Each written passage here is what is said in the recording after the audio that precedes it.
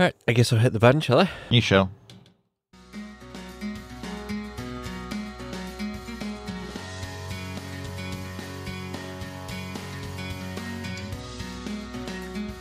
Thanks, Mike. You're welcome. I have to remember to actually turn the heater off before we start podcast so that it doesn't come through in the recording. so Mike did help me build a, uh, uh, cut out a bit of, um, I don't even know what you'd call it. Um, it's kind of a foam, isn't it? I'm not sure. Kind of like insulating foam. Yeah, I think it's the kind of stuff that you'd put under your under your floorboards, isn't it? I don't know. Where'd you buy it? What was it for? I don't know. It's it's mo- I think it's multi-purpose foam, according Right. to Bunnings. It- Buy it's certainly Bunnings. very. It's like cutting like butter with a fresh knife. It's uh, Yeah. yeah. And You know that was to cover up the hole in your shelving unit for your microserver. Yeah, so that our microphones don't pick up the sound that's bouncing around from it. Yes. They moved it into a shelf, and because it's only open on one side now, all the sound's kind of getting projected out into the room. Was that in your rack before? Yes, it was in the bottom. Because you couldn't hear it before. No, because it was like open on all the sides of the sound. Crazy. Kinda. Yeah. Yeah. Uh, the wonders of echoing. Yes. Oh, I'm sorry. Stuff it right in my mouth. you can move it back if you want to sit back. Oh, that's probably a little bit better. Yeah. Problem might- is, I, I can't actually lean uh, the chair back because because my chairs are useless. no, it's just a it's just the type of chair it is. That's why there's two chairs in here because we bought one for me and one for Becky, but Becky doesn't like it because it doesn't lean back. I am. I agree with Becky. I don't like it because it doesn't lean back. I'm I'm notorious for slouching in my chair and sort of cruise back and yeah. I, I hate those office chairs, which is basically you know swivel or up and down. And that's about it. And, Yeah. Uh, anyway, Yeah, mine at work has no padding either. really? Yeah, it's quite uncomfortable to sit on for eight hours. Oh well, don't sit on it for eight hours. Then. Kind of considering buying a uh, like a gaming chair for work oh yeah. because yeah. just because I spend so much damn time in it. I think we're going to have a same uh, problem as last time. We're not actually really going to talk about the topic, are we? Yeah, no, uh, I haven't even I haven't Well, no, even wait, wait, wait, wait. Everything we say is about the topic because it's going through a microphone. it's being recorded. How many crazy ways can we work out to bring what we're talking about back to the topic? Anyway, welcome to Beware the Geeks, episode three. yes. We got Welcome. um we got about three and a half minutes in before I remembered that we hadn't actually introduced the show yet. yes. So, a topic that I've kind of been learning a lot about over the past year or so is audio recording. Yeah, your studio's grown somewhat. Yeah, maybe a little. it kind of went from yeah, let's do a podcast. Oh, now I have all this gear. I, ha- I must do a podcast to justify the expense. Business expense right there. exactly. So, what did you start out with? Uh, I started out with a um, a Firewire mixer And that microphone? and the Rode NT1, yeah. Um, and like a floor standing microphone stand and um, some headphones, and that was about it. And like a laptop with three copies of Skype running on it. Okay, right. So, a so the, the mixer, sorry, was a what? It was a, a Phonic Helix uh, 16 channel Firewire mixer, which right. is So, it's, up yep. there. so it's a very sort of entry level, Uh, I wouldn't call it entry level. well, Um, entry level to sort of serious work, I guess. yeah, and it kind of cheap and Yeah. old, and but it worked. But I had to use a old Mac that I had because it needed Firewire. Firewire port, right? Yep. Yep. So, okay. And then I, about I don't know, six months ago, I tweeted, um, "Hmm, one day I'll get a digital mixer." and then about two hours, I went, "Oh, looks like that day is today." Because it turned out to be a bit cheaper than I thought it was going to be, so I kind of just Uh, impulse bought it. Do you get um, afflicted with the old impulse buy thing, Dan? Not usually. Um, No, Dan still left his phone on vibrate. uh, do not disturb mode. Um, yeah, because I went online and went, oh, that's cheap, and then I got it. You remember where I got it? And went, uh, but I have to use an iPad to control it, so let's go and buy the control surface for it as well. And then I went, well, actually, I can buy like the next model up for like an extra two hundred dollars. So I returned both the mixer and the control surface, and ended up with this nice digital mixer that I have now that Mike is still learning how to use. It's actually very nice, but I, I did find the story quite amusing when you took it back and said that what you wanted to do, and I said we could have told you that to start with. Is that's what you'd want? Yeah.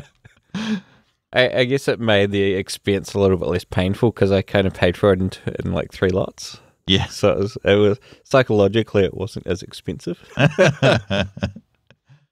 and then you went and bought a new microphone and other bits and pieces, and you've slowly built it up into a quite a functional studio. Yeah, and then I even you know got the got the old handsaw and the, the drill out and actually made quite a nice desk for it as well. No, if I do The, say the, the idea of you on a handsaw and a drill is quite scary, but but yes, it does look very nice. Partly because it's got black sheet covering all of the things that you've done with the handsaw and drill.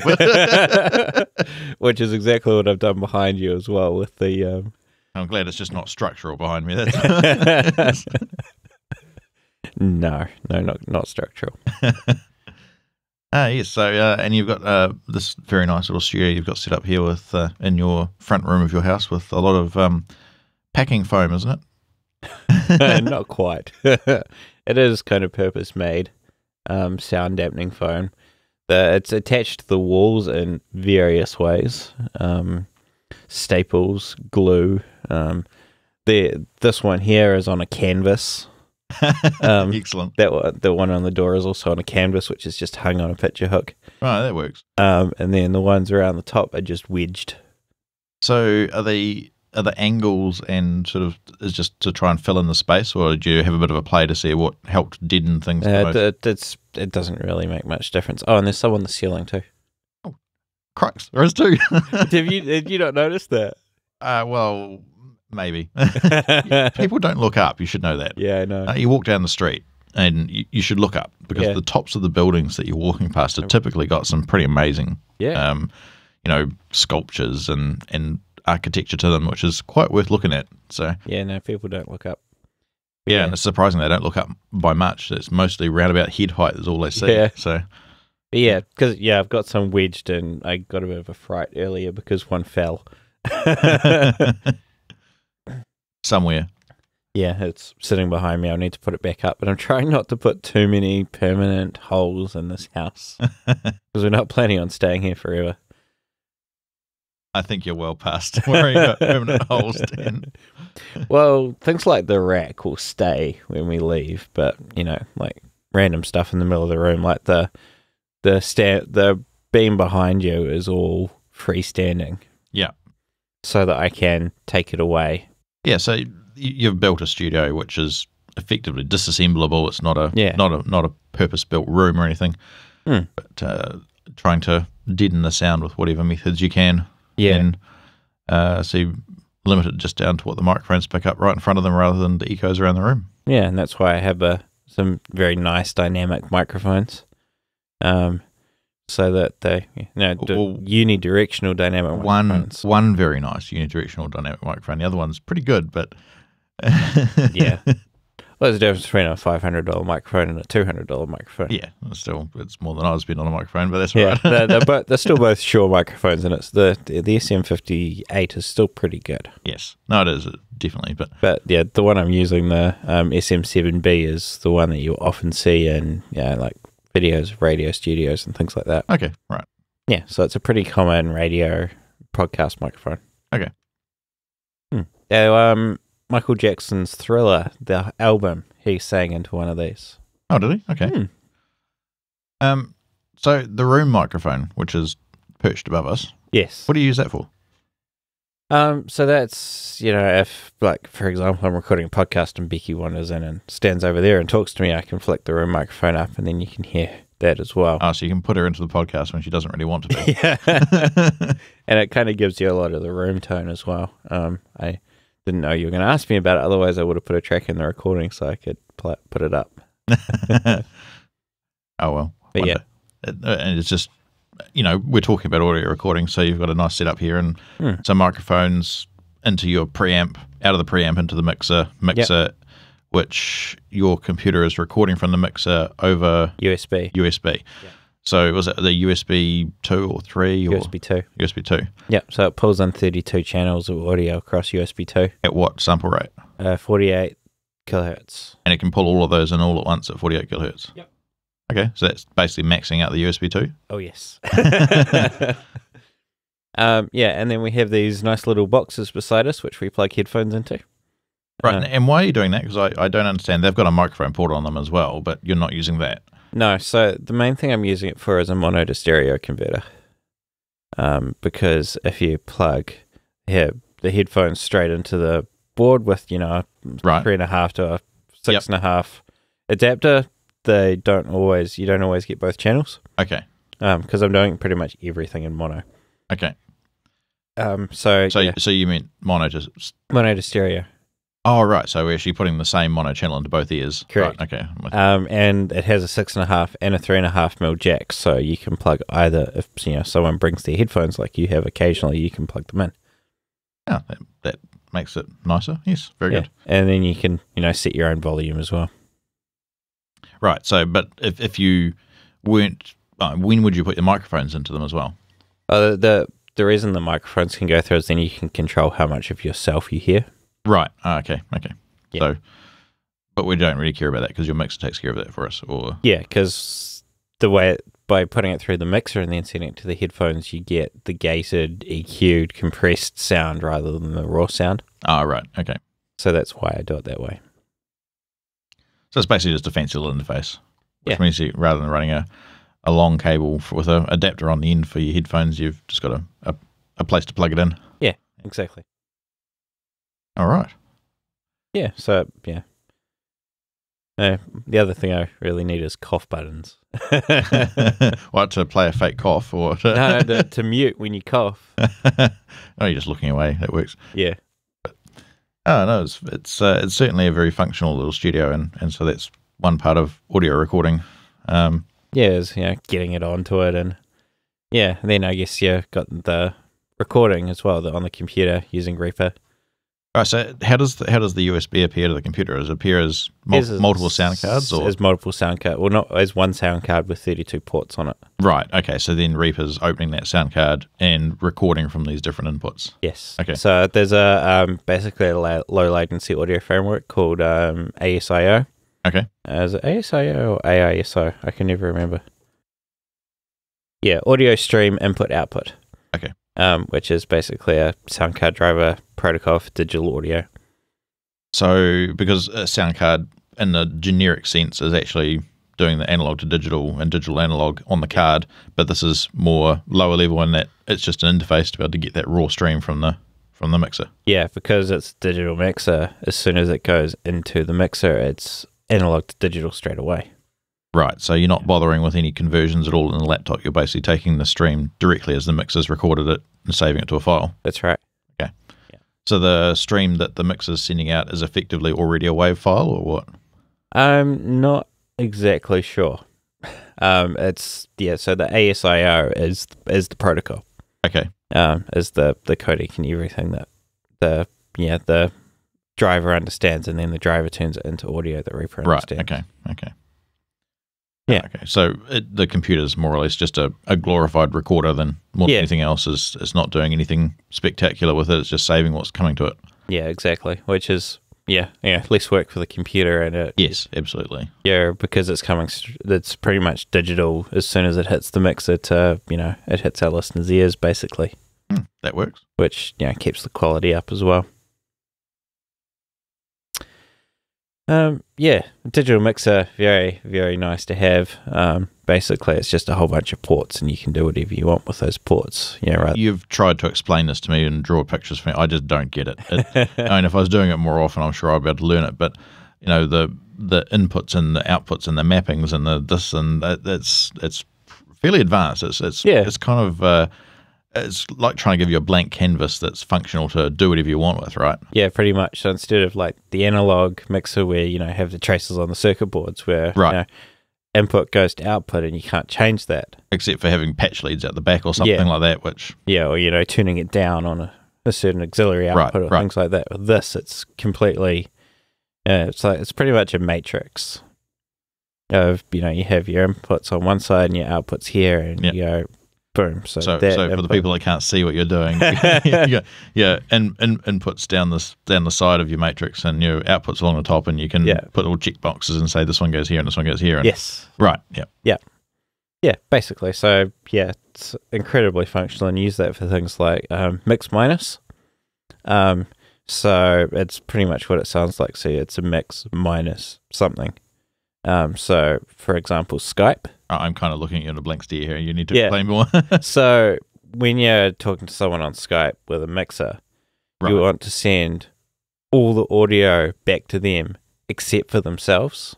ah, right. Yes. Okay. Because Yep. if you send themselves back, they'll hear themselves back delayed.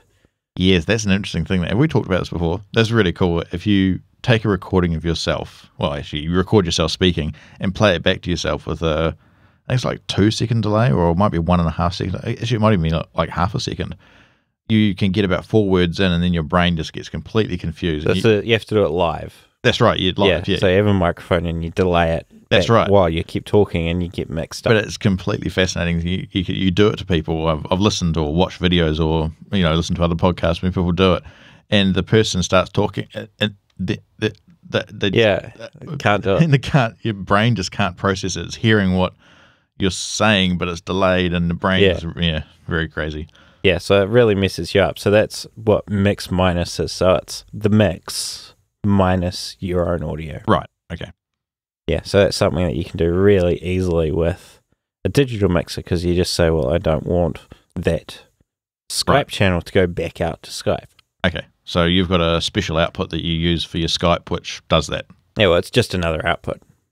Yep. Yeah, But it's, this- but it's pre-wired into whatever computer's got your Skype connection. yeah, so it's yeah. just an output that goes back out to Skype. Yeah. Hmm. Yeah, but it's all mostly mono. The only things I'm running in stereo are the monitor speakers.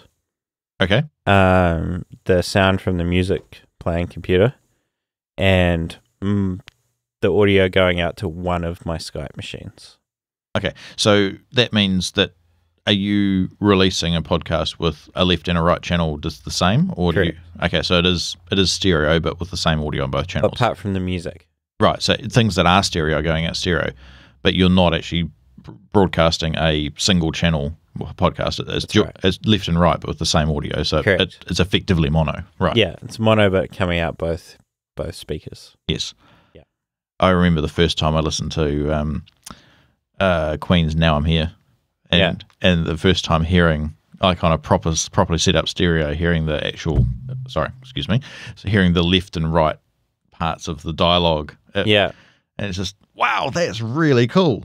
But that was sort of when you know stereo was kind of a, still a new thing. there's actually a radio ad at the moment. I'm talking about like tired drivers and things, and they're actually using the left and right to like they go to the right and they say talk to the driver, and then they go to the left and talk to the passenger and say like now passenger, and it's like all the way to the left. Right. your job is to you know help the driver and then goes to the right and says now driver your job is to you know drive the car and let the passenger take care of everything else it's Right. actually kind of a cool effect and it is quite impacting Because uh, something like that draws your attention. So then you go, what's going on here? And then you listen to it. Yeah. Yeah.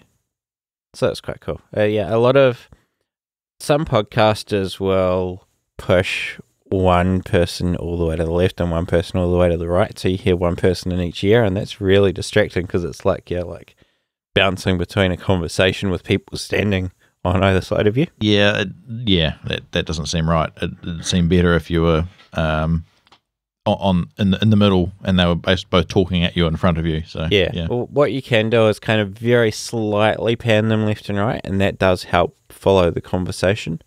Yeah. Um, but not lots. But I don't do it at all. Um, yeah. Um, what else can we talk about? Kind of. This has kind of just turned into talking about my studio. I am, Oh, but it is audio recording. So Yeah. I do need to do a studio tour, but I'm waiting for the rest of my lights to arrive. so this is a, a video tour, you mean, or Video, maybe photos with audio. Not sure. thanks for that, Dan. I'm all on my own. Apparently, I'm entertaining you. You do. How often do you do that? So what I said to Mike as I walked in I said, it's actually really hard to talk to an empty room. Um, I've done a few solo podcasts, and it's actually hard to not have someone, you know, feeding back and responding to what you're saying. Yeah, um, I probably wouldn't be able to do it. I Yeah. just you walked out. I was like, uh, I'll just twiddle my thumbs. yeah, exactly. Oh, I'll wait for him to come back, and Dan can cut that out. We'll put in some elevator music in in the middle. Yeah. Um, I might talk about Cast a bit more, which is the browser-based um, recording for podcasts. Okay. Because it's actually it's really cool how it you know yeah avoid all the latency issues and everything like that and it just records locally which is you know the best audio quality you can get um, because it's not transferring it over streaming it over the internet in real time So your your browser's doing the recording, but storing it locally on your computer. and then it uploads it So is that using the browser cache effectively, and Mhm. or right, okay, and, and then yeah, okay, yeah so basically it takes two streams of audio from you one that it sends to all the other participants Right.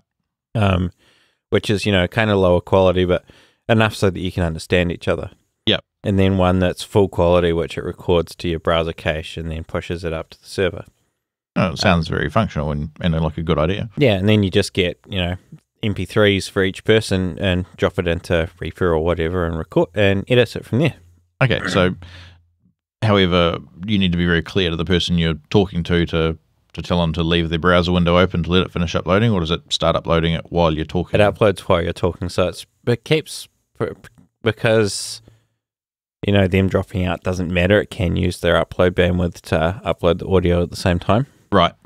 um but So it Yeah. usually finishes shortly after they've. very shortly after you so while you you know you're doing your debrief and you're chatting it generally pops up and says all uploads completed Right. Or you can use that debrief time to, because then if it doesn't come through, you can ignore the debrief which didn't go up or something like that. yeah Yeah. mike's just picked up a ground loop isolator It was annoying me. It was sitting right there and I just wanted to play with it. So I thought, I'll put it out of the way so I can't. that's something that's quite important in audio recording is ground loop isolation and, and putting your hands in your pockets When your you hands can't in your fiddle with things. Yeah. Because any little, you know, noise on the tables and Yeah, so there's I have so many ground loop isolators in my audio chain because you know running audio from a computer into a mixer, you get that hum. Right. Um, because there's a difference in the ground, or you know, it's it's got multiple places to go to ground, and because and then it ends up going around in circles between the ground of the Right. multiple devices, and that's where you get that 60, uh, 50 hertz hum. Okay. Um, so ground loop isolator is basically an audio transformer. So it turns the electrical signal into magnetic and then back into electrical. and then again. back into electrical, but it electrically isolates the Yeah. connection. So it's exactly the same way as your, um, um, you know, AC plug into the wall isolating transformer works that you use to use your outside appliances, you know, your, your hedge trimmers and things. It uh, turns the AC from the wall into a magnetic field, and then that magnetic field is turned back into um, electricity for you to use, but you're disconnected from the house wiring, Hmm. So you don't get um, zapped, basically. Yes. It, it's a little bit, little bit different to that. You still can get, but it's, it's less likely that you'll get zapped from a fault that will, you know, normally. Yeah, Hmm. that's a discussion for another day. Perhaps we can get Renee to talk about that. yeah, maybe we can. Um, yeah, so there, that's another thing. There's lots of little things, and you know, there's a constant. Mike's just clearing the desk of anything that he could possibly fiddle with. um, I'm a, eh, I'm, I'm a notorious sort of play fiddle thing. You know the um. Need to get yourself a fidget spinner. No, I would do not. What- I wouldn't want a fidget cube, Yeah. little fidget. You know, they look Mm. pretty cool. But um, no, it's it's funny because my my boss dri- gets driven up the wall by you're playing with a pen while you're talking to him. He says, "Put it down." so, What was I talking about? We're kind of talking about. Oh, I was talking about ground loop isolation and all the other bits and pieces that you need in the audio chain to have the, you know, achieve your perpetual goal of uh, removing noise. right. yes, indeed. I've pulled my studio apart a couple of times because there's been a hum. Um, you notice that the microphones change color? A couple of times, Yeah, maybe three times. Maybe how many times? Uh, well, the most recent time was because I was changing the disc. You still haven't answered the question. No, it's probably only three or four times that I've done it. no, I'm sure it's probably half a dozen times now. I don't think so. the microphone's a different color. Did you paint it? The microphone cable's changed color. Oh, So I, I replaced the cable. it was red, wasn't it? It was. Oh, so you can remember some things. Things that you don't pick up and don't look at. Yes, anyway. Yeah, the low quality cable was causing a hum on my Yes microphone. Yes. So Perhaps, I can, perhaps I can put it back. hmm yeah, so the um now that the hum's gone, it's a lot easier to edit. Indeed. And editing. So, what do you do with editing? Um, editing's a really time consuming process. That's the bit you hate doing, right? Yeah, because I have to listen to listen through two or three times, um, for you know long silences or bits where we get oh we'll cut that bit out, um, and things like that, and have to make sure that I don't leave any bits in We were saying oh Dan can cut that out. I left a few in on purpose. Thanks. I've pulled some nice sound bites out too. Did you listen to that one that I sent you? I hate listening to my own voice. I, I generally don't listen to them, but uh, I, I, I've been meaning to. I just and it, the reason why is that what you hear in your head is different to what you sound like coming out. Yeah. Um, and it's all to do with the fact that in your own head, you're hearing both your voice coming back to your ears, but also the vibration of your voice inside your head coming through your jaw to your to your ears. So Yeah. you sound completely different to what you can hear yourself saying to a recording of you, and that's why people don't like it. Yeah, Um, you get you do get used. you to You do get used to it. Um, I have become used to it after listening to the odd thing with you, but. Yeah, and you're also listening to yourself on your headphones. Yeah, I, that, that's more of a feedback thing for me to know that I'm actually being picked up and not sort of walked back too far back here. So you're, you're missing bits from me, you know. Yeah. So, but um, it's easier when I actually can hear my own voice. But if if if I actually stop talking and the noise in my ears keep going, I'd hate that. So yeah. that Yeah. can't really happen the way this works. But anyway, no. Oh, I, I do have effects, so I could probably put a delay on you. And then I won't be able to talk at all. Wouldn't that be a shame? oh! I have been known to rabbit on, yes. I thought that was a good one. Put the Velcro down. That- That's a fantastic audio sound to have to try and edit out, isn't it? Where's the end of it? Where's the end of it? There it is. There. I'm going to just do this and go. But no, you know, sorry. Um, yeah, so editing is yeah pretty unpleasant, but you get you do get faster at it, and you get used to the sound of your own voice, which is potentially a positive. Um, yeah, so I go through edit for silence, edit for you know us messing up, or I'm know. still trying to come up with something that is, you know, people liking the sound of their own voice, but yeah, that that did occur to me as well. but it's sorry. Say again. um, yeah, and then export it as a wave, upload it to Auphonic, which um, yeah does all the things I mentioned in the last podcast. Um, does all the loudness, removes hum and noise, and l- normalizes the volume level so we sound the same volume. Right. Um, there's nothing worse than having one person at one volume and one at another because it just drives you crazy trying to listen to it or you know hum or anything like that. Just yeah, I've I will stop listening to podcasts because their audio is bad. I can imagine it's very easy to do. Um, it- yeah, uh, you want to listen to something that's that's pleasant on the ears, and, Hmm. and I, I have to confess that I've stopped listening to one of the podcasts that you like because I actually just don't like the content. It's I'm, I'm not going to talk to you about it because I don't want to say which one it is, but um, it just the the content is doesn't grab me. But uh, different people, different you know, different folks, different strokes. The saying says. yeah, exactly. Yeah, it's like with video, the audio is not quite as important because you've got the video to complement Oh, it. but, it still annoys me when I've got to turn that YouTube video up, and then it, plays- goes on to the next one, and I go deaf. Yeah, yeah. One day everyone will start using the loudness standards, but it's just so hard to get people to use a standard. oh, why do I have to do that? It's more work. well, do you want to keep your listeners? yeah, exactly. Yeah, there's nothing worse than like listening to a podcast and then you know the next one auto playing and then suddenly you're ripping your headphones out of your ears. Yeah, because it's just stupidly loud.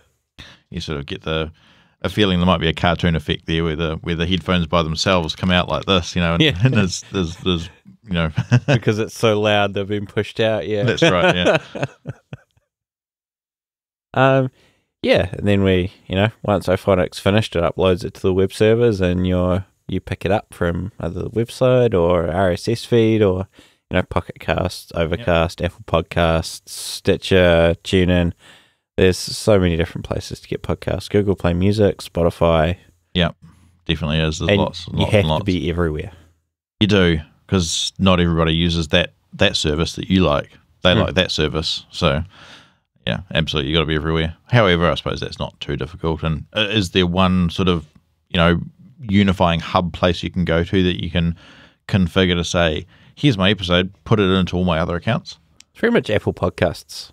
Um, and the fact that things like Pocket Casts and Overcast and things like that pull from Apple Podcasts. Okay, right. Um, so there's not so much, uh, you know, you put it somewhere and it uploads it to Stitcher and SoundCloud and everywhere. But But most of them pull Most- from one other service. Yeah. Right. Okay. um, and Auphonic, for example, you can tell it I want to upload to SoundCloud and YouTube and my web server and you know Libsyn and all these different places all in one hit. Right. Because I upload the podcast to SoundCloud, to YouTube, and to my server, Okay. and to Dropbox for a backup. Oh, fair enough. Yes, audio doing audio recordings, backups are very important because there is no way you're going to repeat an audio recording exactly the second time round. That's right. And we have done that a couple of times, and I'm I'm sure it's not quite exactly the same when you when you edit it in. The, the audio levels kind of sound a bit different, and Yeah, exactly. that's one thing you do notice listening to a podcast. I mean, one of the other ones that we both listen to, you can hear occasionally when he's uh, swapped out a bit. I just there's a hum coming through when I'm talking. Can you hear it? Yeah, it's just started. Oh, what have you done? yeah, it's there non-stop now. It's because I turned the gate off. There you go. Oh, geez, that's loud. Sorry. there you go, folks. That's the uh, the 50 hertz 50 hertz hum. Now Dan's looking at me going, "Oh, what's happened?" oh, I can talk again. That's better. oh, it's gone. It's gone. It's gone. That was interesting. Anyway, Put my gate back on so I don't. oh, that's better. I don't know. I yeah. What did you break, Dan? I I now I can't hear myself. What's going on? Uh, okay, there we go. I don't know what happened there. No, now I'm too loud. Yeah, I don't know what's going on. Oh, well, it's back now. We're good now. Oh, seems to be. Uh, Uh, Gremlins in the system for, a moment there. so uh, how often do you have gremlins in the system, Dan? I think it's the first time I've had to like stop and go, "What the hell's going on?" oh, there's my hum back again. Move your hand. And now it's gone. It's very strange. it is very strange. Microphone's also no longer pointing at your mouth. Is that better? It is. Oh, we just have to deal. Um, I think we're probably just about at the end of this podcast anyway. are anyway. Ah, the fun. yeah, welcome, welcome to the world world of audio recording. yeah, it's it, it's it's definitely something that is quite complicated if you're getting right down into the into the depths of many and very different things that you're doing with mixers and preamps and and uh, you know modifying sounds and equalizers and all sorts of things. But the very simplest effect, you know, just recording with a microphone into your into your phone or Mm. into your tape player and stuff. The, the principles are pretty simple. It's turning some vibrating earwaves or ear into uh, electrical signal to do something with. And then yeah, reversing the process and um, you know, t- pushing the vibrating ear back out to your ears so you can hear it. But as with all things that we humans develop, they tend to get a lot more complicated than that. Yes, yeah, mixers and audio interfaces and preamps and the internet. Oh, yes. Whole other level. It's probably actually made things both more complicated and more simple at the same time. Yeah, that's true. Um, yeah, it's definitely a lot easier. You know, someone can just pick up their smartphone, open voice recorder, voice memo app, and record. That's right. Um, the, the- the other side of of discussing things like that as well as you know it's sort of pushing towards having more recorded media than live media. Mm. Um, how, I mean, those you know live media is still useful for your you know your sports definitely, but yeah. uh, and it's not really any other way to do it because everybody kind of wants to know then and there who won. So Yeah, exactly.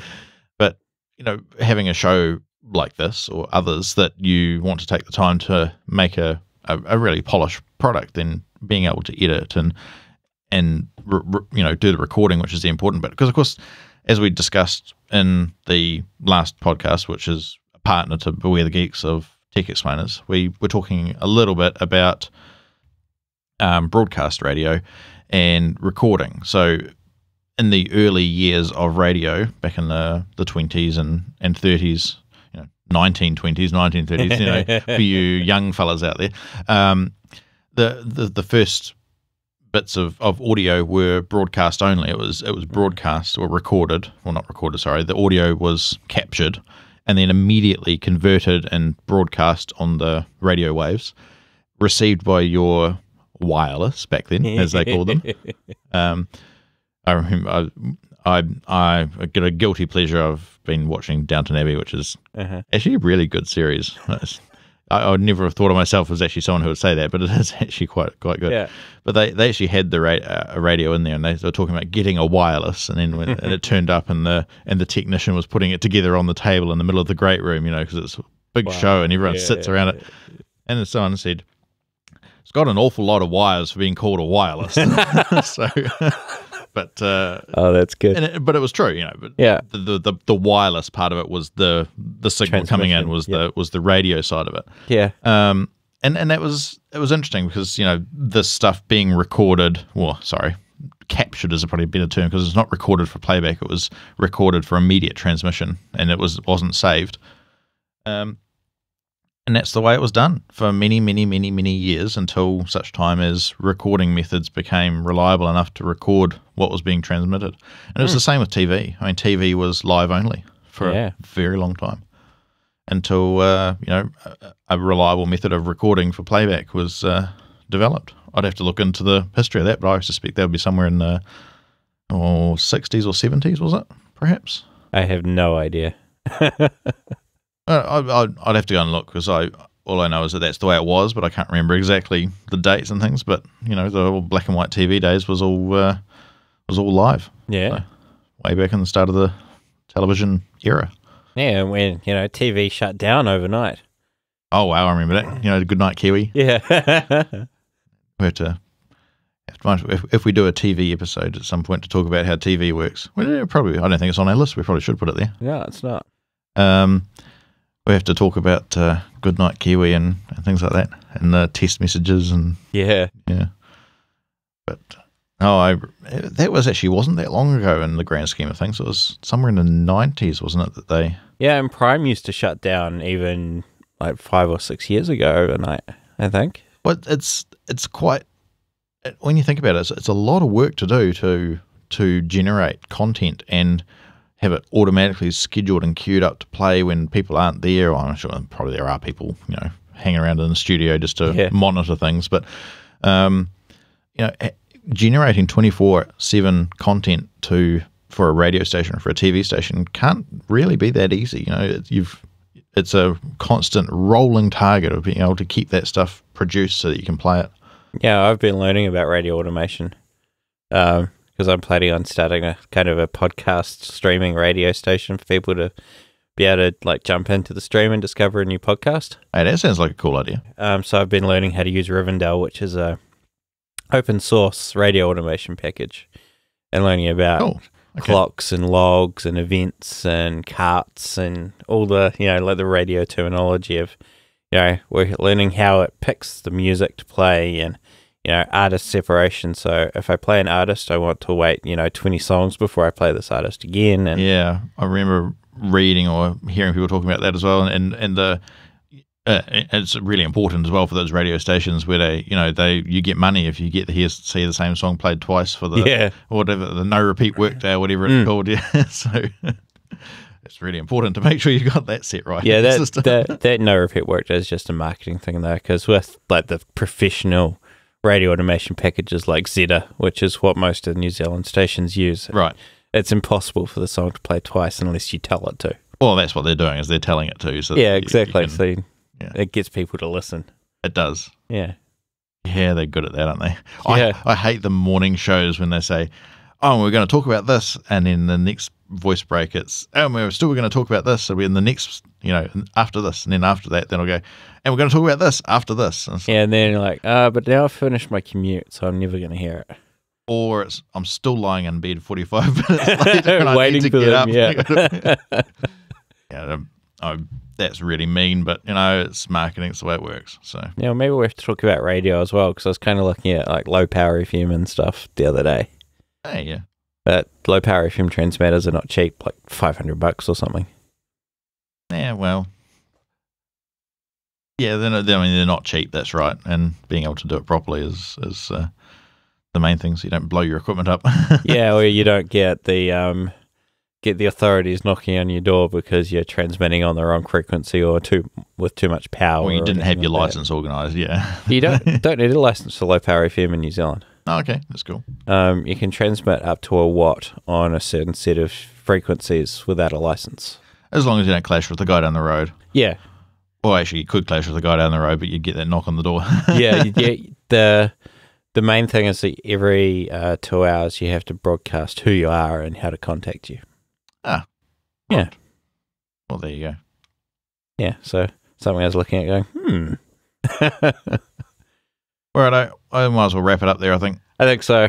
we keep sort of rambling now and not, Yeah. not, not really staying on topic. But uh, at some point in the future, I'm sure we'll, Dan will mention he's uh, done a studio tour to show you what's involved, and and there'll be one of them, which is the picture behind the behind the mixer.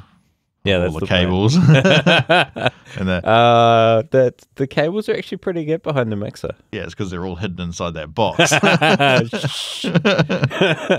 You're telling all my secrets. uh, thanks, Mike. yeah, thanks, Dan. See you folks next time.